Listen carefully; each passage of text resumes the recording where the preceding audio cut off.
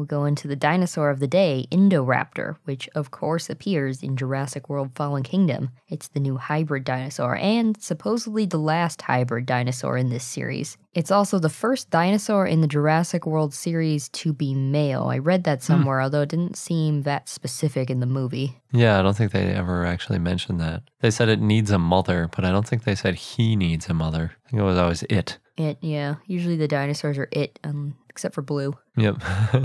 Uh, you might be able to guess from its name, it's a hybrid of Indominus Rex and Velociraptor. yeah, that's kind of a weird one because that makes it like two parts Velociraptor because Indominus Rex was already part Velociraptor. Oh, yeah, tiny bit. But that actually, to your point, Garret, about them not calling the Velociraptors Velociraptor, they were saying because of the Velociraptorness of it, it would respond to Blue as a mother. So they're implying Blue is a Velociraptor. I know what you're saying, but they didn't actually say that it was a velociraptor if you think about it. They said it was a combination of the two most dangerous dinosaurs. And then they said Oh. Henry Wu's creation is one of them. I see. It's the successor to his earlier creation. So you all of that was just kind of inferred that they were talking about Indominus Rex and Velociraptor. They never actually said the word Velociraptor. Okay, well then.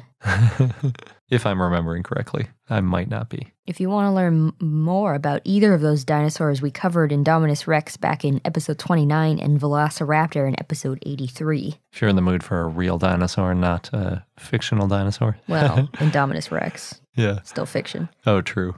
Anyway, Indoraptor was about three quarters the size of Indominus Rex, although Really? I think it looked smaller in the Yeah, movie. I would have said like half the size. Although a lot of times the size, quote unquote, is just talking about length, Mm. and it might have been three quarters of length because it, it's a lot lower to the ground Mm-hmm. and skinnier. But it might have still been like thirty feet. Maybe Indominus Rex was forty feet or something like that. Yeah. As you probably know, it was dark black in color and had a yellow streak from the base of its neck to its tail, which is kind of similar to Blue's metallic blue streak. Oh, good point. Yeah, I was thinking it was very strange that it had that yellow streak, but a lot of the Velociraptors had those kind of colored streaks. Mm-hmm. So I guess if it's coming from the same sort of DNA, that almost makes sense. Yeah. And it had this kind of red mark around its eye. Oh yeah, it's like eyeshadow.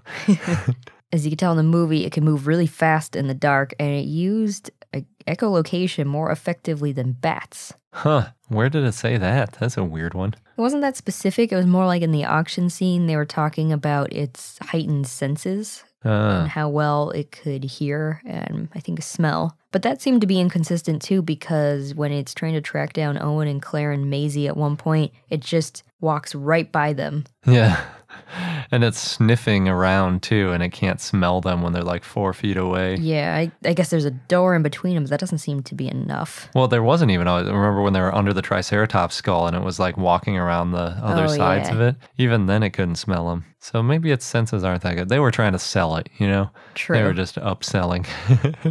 It did appear to be bulletproof, like Indominus Rex, yeah, that was unnecessary. And it was good at playing dead. That was that was good. I like that. And then, of course, it was trained to respond to what was it, the the laser sensor, followed by the Acoustic sounds. signal. Yeah. Yeah. Yeah, that was pretty cool. I like that touch. If you're t- talking about having like a really advanced predator, training it to attack by laser guided, like some sort of advanced missile, is pretty cool. Well, that's when the bidding started, even though it wasn't for sale. yeah. that's when they found that detail out. I did like the touch of how they demoed that. They just pointed at a random guy in the audience. Yeah.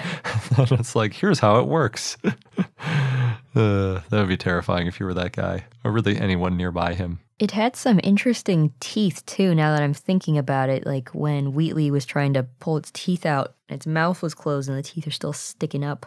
Yeah, yeah, they gave it non dinosaur teeth, basically, mm-hmm. because dinosaurs all have essentially an overbite, whereas crocodiles and stuff have those interlocking teeth, and they give it teeth like a crocodile, mm-hmm. which I think Indominus Rex had too. So that might be why they did that. Mm. And the same kind of like sharp, almost like crocodilian teeth. Right. Well, some of the characters, as soon as they saw it, did say, What is that thing? So they recognized it wasn't a dinosaur. That's true. It had a strangely flexible tail, I noticed. Oh, yeah. compared to, say, Velociraptor and Indominus Rex, which both have tails that are, are held straight back out from the body and they're stiff. But this guy had a tail that is whipping back and forth like it's a dog or something. Oh, yeah. Another detail I didn't like in the 4DX. Oh, because it was whipping you in the legs. Yeah. With the air blasts. That's true. yes, that was kind of strange. Must be the frog DNA. The tails, the frog DNA. That's the excuse everybody gives for why they aren't actually like dinosaurs. Ah, it's the frog. DNA. So, yeah, that pretty much covers Indoraptor, and you should watch the movie. You can see all these interesting characteristics for yourself. Yeah.